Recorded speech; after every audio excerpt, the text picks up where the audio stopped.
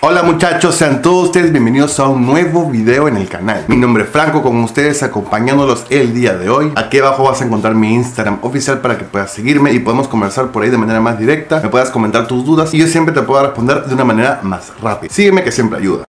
Un auto hatchback. ¿Qué es un auto hatchback? Es un auto que no tiene la parte trasera y lo hace hacer un poquito más compacto, un poco más pequeño, es decir, más manejable, más versátil e inclusive también más cómodo para las grandes ciudades donde tenemos mucho tráfico y no siempre queremos andar manejando un auto muy grande, que tiene un maletero muy prominente que muchas veces nos hace rasparnos cuando retrocedemos, especialmente para las personas que recién estamos emprendiendo a conducir. Un auto hatchback suele ser muchas veces la mejor opción, la más conveniente para no tener tantos inconvenientes, especialmente retrocediendo, pero también para poder entrar en lugares muy angostos, muy pequeños donde tal vez otros autos no entrarían. Son muchos los beneficios al momento de comprar un auto hatchback. Es más pequeño, pero a la vez también tiene a veces un maletero un poquito más amplio por su forma y a veces también son mucho más bonitos que los autos sedán, teniendo aquel diseño un poquito más deportivo, se puede jugar un poco más y hacer que las líneas se vean más interesantes al final de cuentas, ya que en mi opinión muchas veces muchas versiones de autos hatchback se ven mucho mejores que autos sedanes del mismo modelo. Y entonces te presentó algunos beneficios de comprar un auto hatchback. Que tal vez tengas en mente, tal vez pienses en futuro a comprarte, déjame presentarte a continuación 5 autos hatchback muy buenos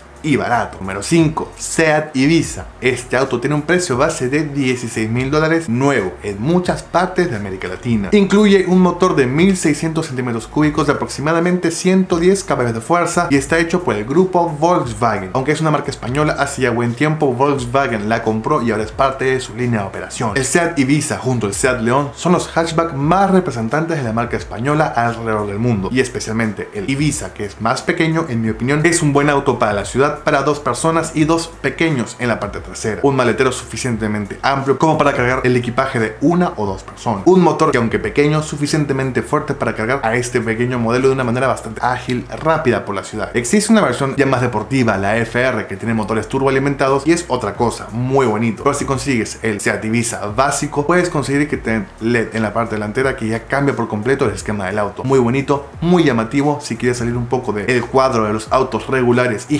que vemos tanto en América Latina, el Seat Ibiza tal vez sea una opción muy válida para ti. En mi opinión, un auto muy bonito que ver por la calle. Número 4, Peugeot 208. Este pequeño modelo tiene un precio base de 14 mil dólares en muchas partes de esta parte del mundo. Incluye un motor de 1200 centímetros cúbicos turbo alimentado, pero lo más importante es que este auto tiene mucho refinamiento en la parte interior y exterior. No tiene tanto equipamiento en sus versiones más básicas, pero aún así gozamos de un diseño muy muy bonito, elegante, tecnológico y muy deportivo en cada aspecto auto. Es un auto interesante, tiene botones en lugares que no pensarías que los tuviera, funcionalidades que tal vez no pensabas que un auto de sus características tuviera. Tiene muchas sorpresas de un auto clásico europeo, pero mantiene un muy buen andar, muy elegante, muy suave, muy sobrio y sobre todo con una muy buena insonorización con respecto a la calle, lo que lo hace sentirse un auto todavía con más clase. A pesar de ser un auto pequeño, alcanza buenas velocidades en corto tiempo y se siente un auto muy estable y con buen semblante con respecto al suelo. Un auto muy cómodo para andar todos los días gracias, ya dije, a la insonorización que tiene, a las buenas calidades de armado y las buenas calidades en cuanto a todos sus elementos en la parte de adentro. Plásticos suaves por donde veas y mucha atención al detalle, especialmente en el diseño. Si quieres nuevamente un auto interesante que sobresalga del resto, especialmente en su segmento de hatchbacks baratos, pequeños, esta es una muy buena opción para ti. Te recomiendo que la veas. Existen muchos repuestos en América Latina, ya que Peugeot está poniendo muchas ganas a este auto. Número 3,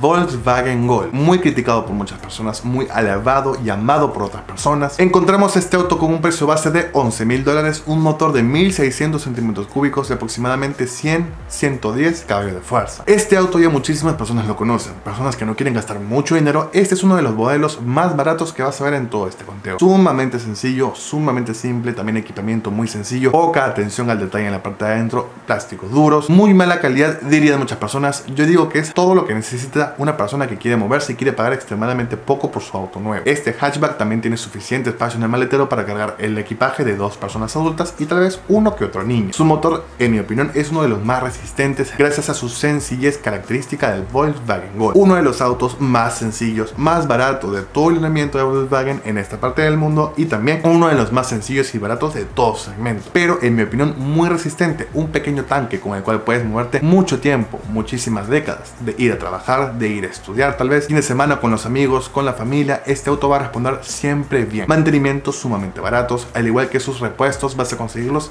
siempre. Así que si tú quieres un auto que no te dé mayores problemas, ni gastos de dinero, ni pérdidas de tiempo en reparaciones innecesarias, de tecnologías que tal vez no querías tener en tu auto, el Volkswagen Gol es sumamente sencillo. Cuatro llantas, un volante y ya estás listo para salir a la calle. En mi opinión, uno de los mejores de su segmento, aunque muchos lo critiquen por el tiempo que lleva con nosotros. Número 2. Toyota Yaris hatchback. Este auto tiene un precio base de 17 mil dólares, uno de los más costosos en este conteo, un motor de 1300 centímetros cúbicos de 98 caballos de fuerza. Y es que muchas personas aman el Yaris por su resistencia y han habido exámenes, han habido pruebas que le han hecho a este auto donde ha resultado ser uno de los más económicos del mundo, no de América Latina, no de la marca, sino del mundo. Económicos me refiero al gasto de combustible muy bueno que tiene para las personas que quieren ahorrar realmente. La variante del Toyota Yaris Sedan, en mi opinión, se ve mucho más bonito el modelo hatchback. Por el simple hecho de que tiene mejores líneas en la parte trasera, tiene también un mejor aspecto de los lados, aunque sus llantas son un poco pequeñas, si sus aros son bastante reducidos con respecto al auto, están en buena proporción para que se sienta un andar bueno, que no golpee contra los topes en las pistas, y es un auto que puedes usar todos los días sin sentirte culpable de que te va a llegar el mantenimiento costoso o las reparaciones de una u otra manera, ya que los mantenimientos de Toyota Yaris son uno de los más baratos también de todo el mundo automotriz y especialmente de su segmento. Sus repuestos, como ya estamos acostumbrados los Toyota, tienen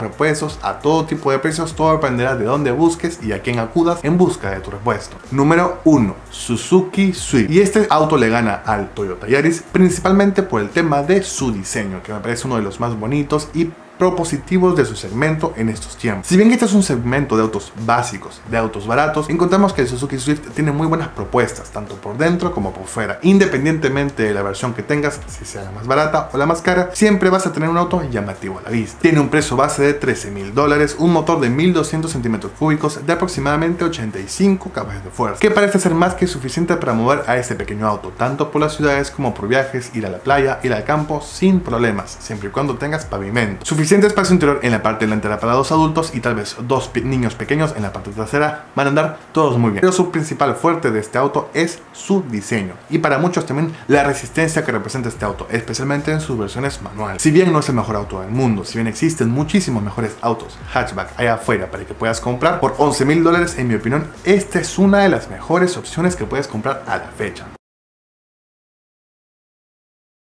Si consideras que existe otro auto hatchback allá afuera que debería estar en este conteo, por favor déjamelo aquí abajo en la caja de comentarios que los leo a todos. Si este video te gustó, por favor regálame un me gusta, también suscríbete a mi canal que me ayudaría muchísimo. Que tengas una muy buena semana, mucha salud y nos vemos mañana.